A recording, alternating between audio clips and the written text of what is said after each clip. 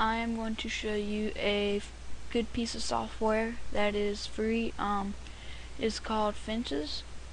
And what Fences does is it allows you to uh, move things around on your desktop and put them in categories and it highlights them.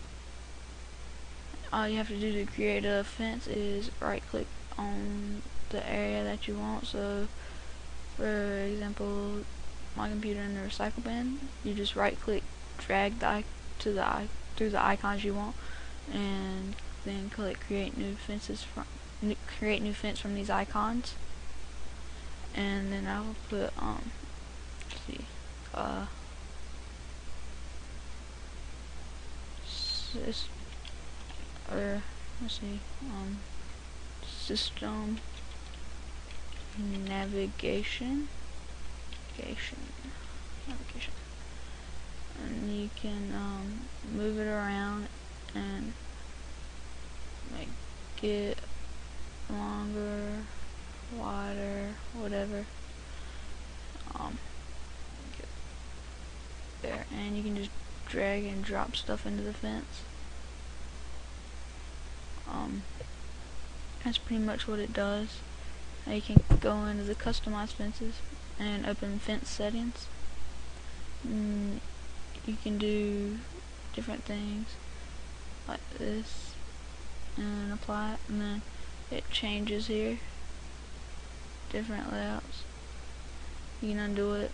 Um, you can change the transparency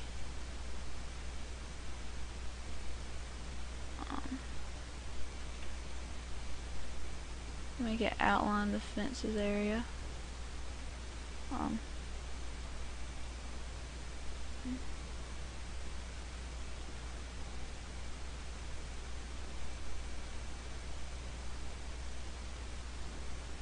you can restore it to back what it was before you made it.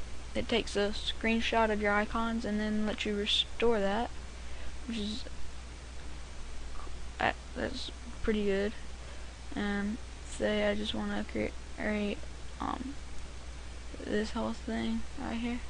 To a fence just say icons. I can move it around and stuff like it was before. And go to tools reinstall snapshot restore snapshot. No just restore and it moves all the icons back. And it's pretty much it. This is um free software called Fences. Please rate, comment, and subscribe.